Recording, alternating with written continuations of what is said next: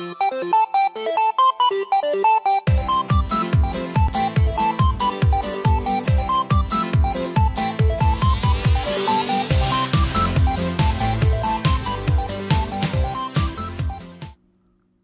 Guy. Welcome to the AMIGArama podcast. I'm your host, Lorfarius, and for this week, we're going to be taking a look at Speris Legacy. But as always, before we jump into that, let's have a look at this week's news.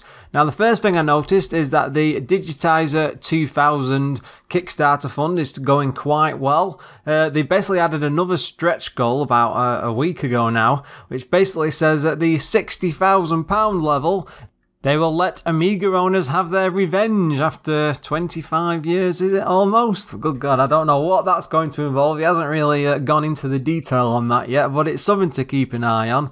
Uh, last I checked, it was at about 36, 37,000 pounds, so it's growing there slowly. As always, I'll stick a link in the show notes. Uh, next up, that's some awesome bit of news actually. I noticed on uh, Indie Retro News, but basically there's a re-release of Simon the Sorcerer uh, 1 and 2 in like a, a, double pack. Now, from what I could see the details, it features new gameplay controls, uh, hotspots, so no more pixel hunting. That was quite a, a picky problem with the first one because you really had to search the screen just to find some of the solutions. New icons, uh, new animations, new game menus, better saving and loading. Also, HD graphics mode, which upscales the game to much higher resolutions. I'm actually quite excited about that. I think it's about £10 at the moment, but uh, they don't seem to have confirmed the price yet, but it's out on April the 3rd. Uh, one of my favourite point and clicks, the original, especially with the voice work. That's all included and all been like digitally, I don't know, is it remastered or clean up? It's not new voice actors or anything like that. I'm actually quite looking forward to it because it's been absolutely years since I played the uh, the Simon games. Uh, next bit of news I noticed, uh, basically over on Atari Age, someone has, has come up. This you might be thinking, why, my God, why is he mentioning Atari games on uh, an Amiga podcast? Well, basically because somebody's gone ahead and reprogrammed a version of Stunt Car Racer, which is an absolute classic Amiga game, which caught my attention straight away. And they've put it onto the 8 bit Atari XL-XE. It's not something I'm familiar with, but I think it was more maybe an American system, but it was an 8-bit computer anyway. But apparently, just reading through some of the blurb, uh, it, it's it's got all the features of the Commodore 64 version with an improved frame rate, uh, music, rich sound effects. Plus, it's PAL and NTSC compatible, so it'll work on uh, both sides of the ocean. Now, I'd just like to take a moment to uh, thank all my Patreon supporters. As always, the list is growing, the wall is growing, and it's uh, great for people to actually offer something because, you know, I, I, do do this for free. I don't expect anything for it, so it really is appreciated. So, uh, yeah, fantastic. Thank you to you all. Uh, as usual, if you want to have a look at any gameplay video of the upcoming episode or leave some comments or emails, just pop over to uh, AMIGArama.com. And with that, it's time to move on to this week's game. Now, for this week, I've gone and picked Speris Legacy. Now, this was a bit of a funny one because uh, as I was looking at various titles to choose, I mean, I tend to just like hit a pile of games and then pick out something I think will be interesting to talk about. But I really wanted to cover something like uh, an RPG where it was uh, maybe a bit more platformy, a bit more uh, action involved. And, you know, when you start looking through the Amiga library, you know, I was thinking more along the lines of like a Zelda type game, that sort of stuff. And there's loads of platformers, there's loads of sports games, strategy, you name it. But when it comes to stuff like this, there's very, very, very few, especially from uh, uh, back in the day. So this one definitely stood out, especially when I realised that Team 17 were behind it. So uh, yeah, let's just jump right into it. It was published by Ocean and Team 17, which seems to happen quite a lot for both of them. I could go through a list of their games, but I'm pretty sure you know who those guys are involved with. Uh, developed by a company called Binary Emotions. Now, they did a small number of games at the time. I'll go into them in a bit more detail when we get around to the coding part. Now, it re- was released uh, an AGA version in 1995, so this is pretty late in the Amiga's life, uh, with a CD CD32 version released later, I think with a better uh, uh, music, uh, in 1996. I mean, by God, by this point, the Amiga was pretty much dead because the 32 come out in 94, I think. 93, 94. God, yeah, we were well into like the PlayStation and uh, N64 eras. Uh, it came on four discs, uh, single player only. Now, the coders behind this were a guy called Clive Minican and Phil Bogue Butcher. Now, uh, Phil has been actually involved in quite a lot of uh, decent Amiga titles. Uh, uh, uh Putty Squad is probably the most popular. Uh, Premier Manager 3.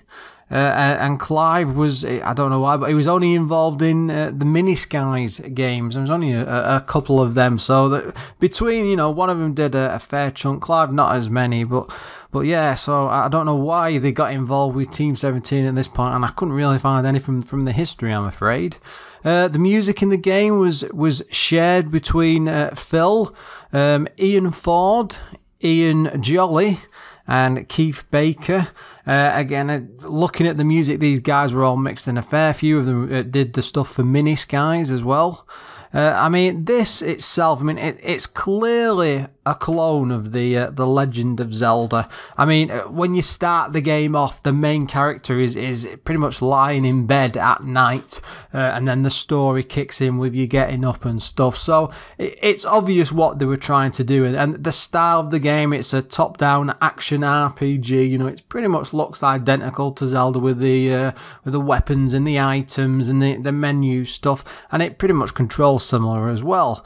Now, I did discover that uh, Phil Bogue Butcher actually posts on the uh, EAB forum, that's the English Amiga boards if you're not aware. Uh, and then looking into some of the comments he made about this game some time ago, uh, he basically said that, because uh, he was one of the coders, but at the time he said they made a mistake of starting on the AGA version first. Uh, because they realised by the end of it that the game was just too big. Uh, and then having to switch it back to uh, A500 now OCS ECS versions, they would have to like strip out loads. And another problem is the loading times would have been absolutely huge, so it just didn't happen. Now, one of the things he, he, he did talk about as well, just uh, on a side comment, because he was behind uh, uh, uh, Premier Manager 3, I think it was the, the deluxe edition, uh, but he was boasting about that at the same time, saying that even to this day, that the uh, copy protection he wrote for it still hasn't been cracked. So if that's a challenge to everybody, that's still knocking about there, anybody. Now, the coders between them all made didn't make much money on this at all. They were all given a, a £4,000 advance. Uh, but it barely made that much money back, which might might seem a bit odd with it being a Team 17 game. But if you think at the time, uh, uh, Worms was released roughly about this same time, and as a company, Team 17 were pushing all the marketing stuff and then making that the uh, the main draw for consumers, as it were. And, and as you know, what happened with that, it, it, went on to be a massive, massive hit and earned him an absolute fortune. I mean, at the time, from what I could gather, I think Team 17 were struggling a bit, despite being behind so many good games. I think maybe they did it might have expanded a bit too quickly or a bit too much. But uh, this game just this game just seemed to come along at the right time and get them out of uh, a sticky situation. Now, from what I could work out, there was a sequel in mind. I mean, they were planning this off the off chance that it was a hit, uh, and they only ever got as far as like concept art and the rough idea of what it might be. But that's pretty much all there is. So people getting excited on different forums on internets and sites. It, it it wasn't going to happen, I'm afraid, guys. Uh, but like say, Team 17 themselves, what they went on to become off the back of a, a, a, game like this, and looking at the rest of the Team 17 library, it seems this is just a weird side game. It wasn't the sort of stuff that they would usually do, so I wasn't sure why they went down that route. If anybody means knows, then by all means get in touch with me, Lorfarius at AMIGArama.com, because I'm actually interested. I want to know.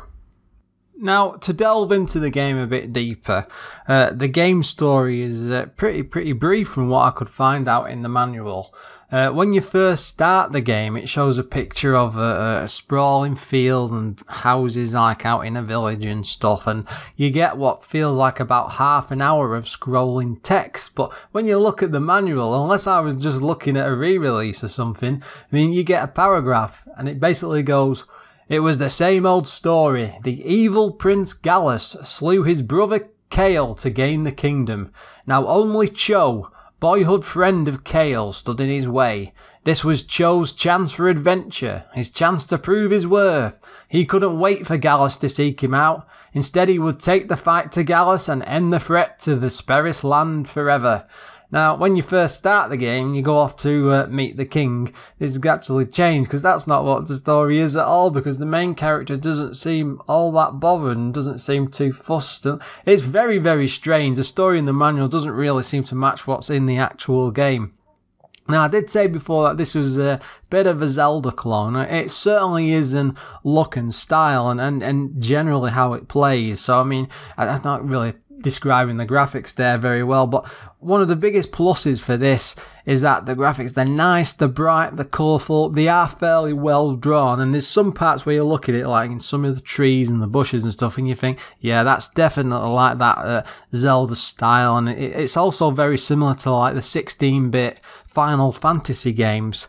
Now, the other side to that is a lot of the assets are reused all over. Now, usually something like that might be a problem, but it, I mean, it's it's a pretty big world. I mean, so it, it is quite quite forgivable. And uh, one of the good things about it, you, you do get uh, support for two buttons on a joystick. I mean, God, I'm getting excited about that, but it was the end of the Amiga's life. Uh, and it does seem to have a specific control set for the CD32 pads. I'm not sure if they'd that already with the AGA version, but yeah, I, I'd only had a brief look at that on the emulator, but it seemed to work in time with it. Now, as I said, the map is huge. Uh, uh, there's eight areas to, to go through, and those are, sorry, uh, more like levels and areas, but uh, you've got caves, uh, fields, uh, ruins, uh, uh, rivers. You know, it's all pretty well drawn out in that uh, in that graphical that Zelda style. Works quite well. You do only have two items at the top of the screen. Uh, there's HP or, or vitality bar. Uh, when you fill the experience bar underneath or EXP, it, it, basically eventually after killing so many enemies, it just increases the size of the vitality. So there's that little light bit of uh, RPG element there, though it's not like, say, Zelda is with, with the heart, so it is a bit different. Uh, the thing with the two items, again, that matches the original Legend of Zelda. I, I just think I can't remember if the SNES one had more than two. I don't think it, I cannot remember. It's been years and years since I've played that. Now, it's your typical fantasy fare. Instead of coins or gold, you've got gems which represent currency. Uh, lots of weapons to find throughout dungeons, uh, bombs, you know, typical stuff that you get in Zelda, which you know you used to blow holes in walls, things like that. Uh, the thing is, because they reuse the assets a fair bit, a lot of the stuff in the walls aren't that easy to work out or where it's supposed to be. Now, one of the good things I did quite like about it, especially when you're walking around towns or areas, that if you stand in front of, say, a, an object or, or a person, you'll get like a, a, a little icon icon appears above your, your character's head. Now, if it's a person, it's like a chat icon. If it's an object, it's a couple of eyes, and you can basically press a, a button uh, and it'll bring up a prompt and either explain, I'll let you do something with it. Now, at the time, I don't think any or many games even were, were, were, doing that. I certainly don't remember. It wasn't in the likes of uh, uh, Zelda or any of that, those Final Fantasy adventure type games. And it, it's just a neat little fix, at least, which helps whilst you're playing the game hidden all over the world and out in plain sight actually is lots and lots lots of uh, your typical tre- uh, treasure chests uh, and they contain like like hidden items and again it's uh, this is it is a Zelda clone so it's that sort of stuff. Now a lot of the items are very very similar a bit, a bit cheeky actually. I mean things like uh, a wand, uh, uh, like gloves, uh, speed boots. I mean, that's ripped straight out of the Zelda. It does have some of its own twists on things as you get further and further on in the game, but it is a bit cheeky.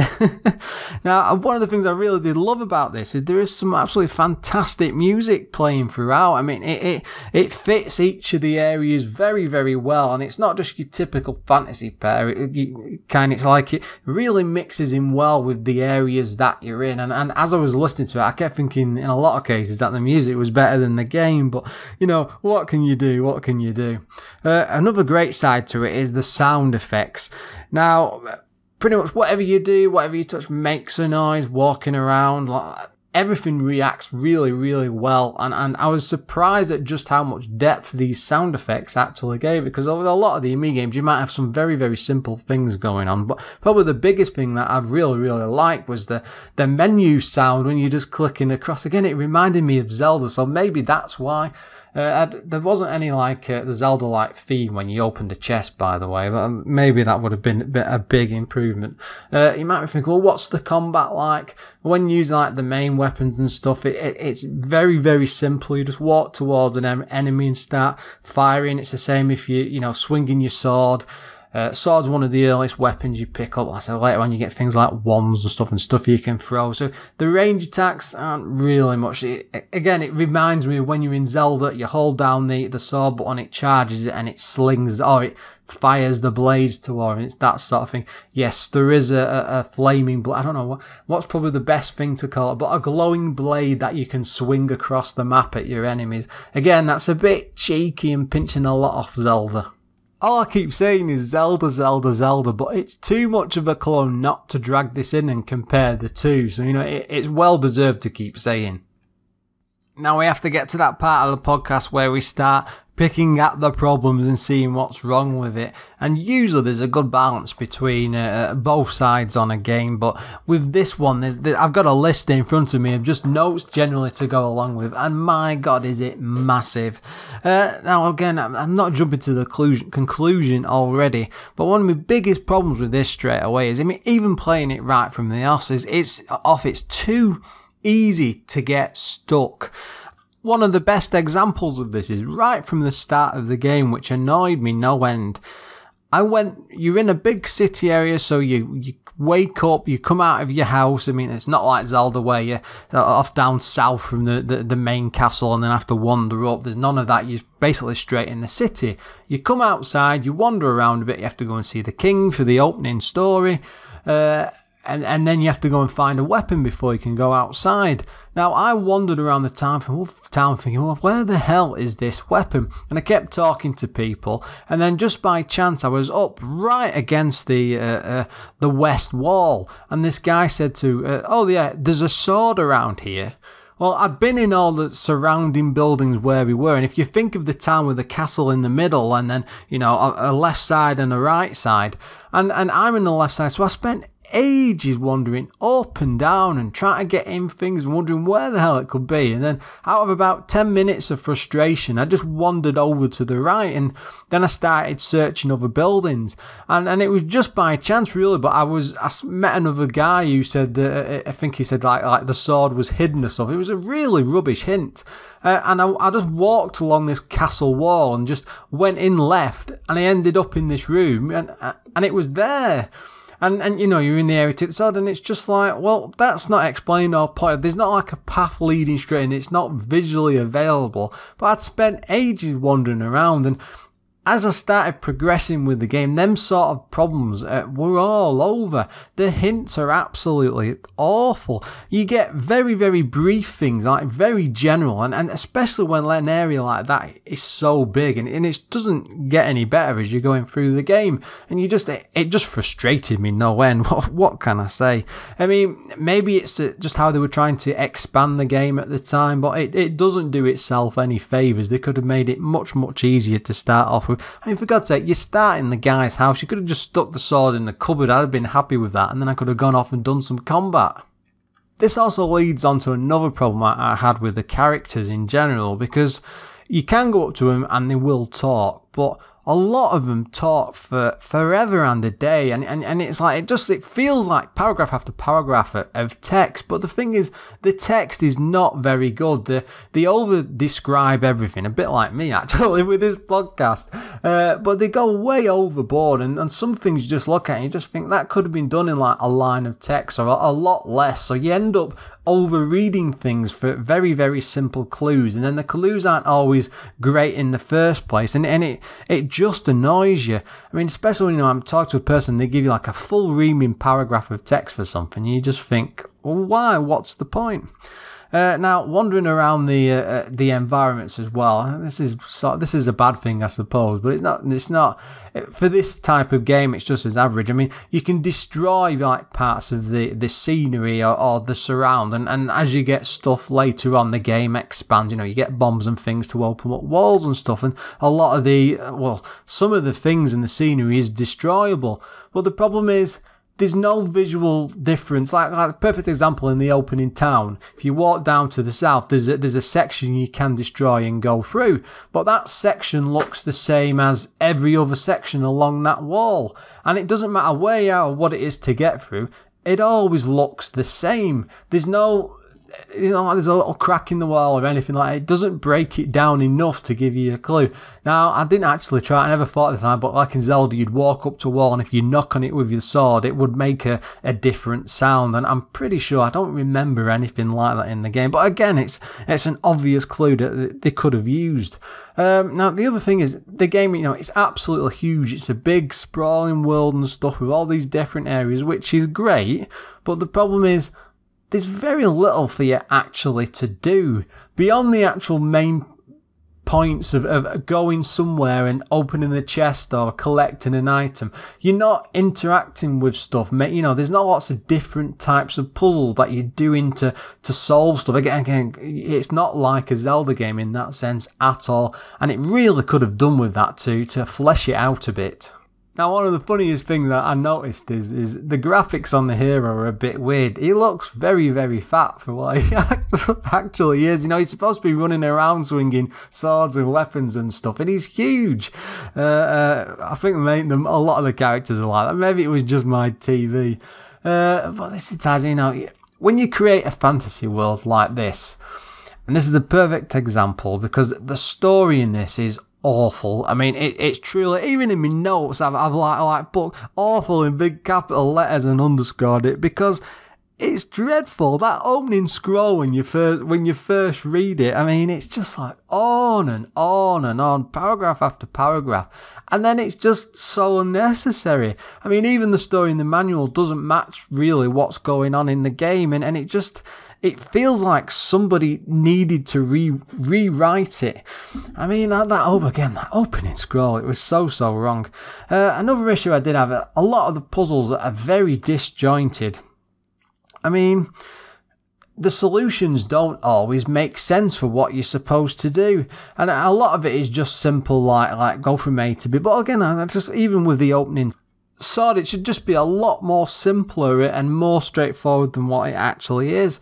Now, it is a pretty big world, and I do like that about it in a way because it, it is that action RPG. But a lot of these areas, because of what you're doing, there's an awful lot of backtracking, and you have to try and figure out where you're supposed to go and what you're supposed to do. And the hints, as I've said, they just they're not there. They, they don't support you as a player in the game. It reminds me of something like uh, uh, uh, Castlevania 2, you know, the Simon's Quest game where they give you like random hints which don't really make any sense. And though it's not that odd or off, it just sometimes the, the general clues it gives you, it, it really just needed passing over again one of its biggest issues is you, you know you can pick up all these different weapons and you think these should be nice and straightforward and you compare it to a Zelda game and when you pick some up you get like a bit of a mini tutorial or it gives you some clues and tells you how to use it or gives you uh, examples of puzzles to use in, in a very clever and guiding way and there's nothing like that here. You just get left with an item or something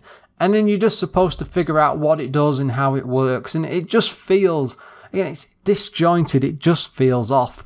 And when you've got this huge, big, sprawling world, it's you might think, oh well, it's like in a Zelda. You know, you go from one part of the map to the other and wander about. But the thing is, these areas are absolutely huge. It's wandering after wandering after wandering, and a lot of it just feels completely pointless. I mean, one of the other biggest things I had with it is is the amount of spelling mistakes, and this is why it needed rewriting. I don't know what was going on at Team 17 at the time, but it's littered with spelling mistakes and, and not just like a little bit of grammar. Really, it's like something like what they produced in Japan and then transferred over to English. And it was probably just because they just didn't have like a proper writing team. And uh, I thought that explains that why these big games, like on the 16-bit systems, even they would have somebody go, no, no, they didn't because they were just as bad because you could get just as worse games from the likes of Square or Enix or whatever at the time. So I don't know what was going through these companies' minds back in the mid 90s when it comes to doing like proper RPG text because it's just terrible. But then maybe that's carrying on a bit of a tradition with these type of games with the bad text. The magazines of the time weren't exactly too kind to this. Uh, well, again, Amiga Format gave it 82%. Uh, then again, that was for the CD32 edition. They actually gave the disc version 69%. My god, I wonder what happened there. Uh, Amiga Magazine gave it 6 out of 10. Uh, Amiga Power gave it 50%, CU Amiga gave it 74%, and when you start reading, reading the reviews and then digging into it, they pretty much picked up on a lot of what I've been saying as well, but they weren't very impressed with it, and, and I think it, they felt it was lacking as well. I mean, this this is a it's a Zelda clone. When when you're going up against something like that against Nintendo, even with a small team like that, they clearly had that sort of a game in mind, but I don't know. They, they really just didn't try hard enough because it's certainly not on the same le- level. I mean, there's just there's too many little niggles going on throughout it. I mean, there's loads and loads of, of good points, and it, it, it's an expansive world and it's got a lot going on to, to a certain degree, but it hasn't got enough to make it anything but frustrating. There's just far too many little niggles.